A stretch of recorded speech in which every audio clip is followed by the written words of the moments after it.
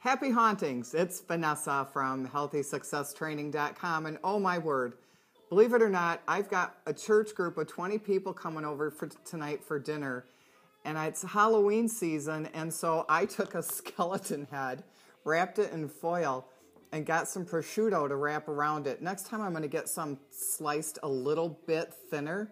And then I took some uh, mozzarella balls that you can get in your deli, popped them in the eyes, took some Orenda Chokai chocolate, chopped it up, poked it in for the little eyeballs. And you know, we live in Colorado, so it's Bronco country. So I got this nice little French bread that's orange to put around it. I'm going to finish sprinkling the mozzarella balls and maybe some tomatoes around here to serve this head on a platter. I've also taken some oranges and drew with the Sharpie some little faces. I'm going to put that also around too for decorations. You know, I'm all about the spooky food. If you're not signed up with Healthy Success Training, please do so, and you'll get all of these kind of videos, training from my husband Randy. Happy hauntings. It's Vanessa with HealthySuccessTraining.com.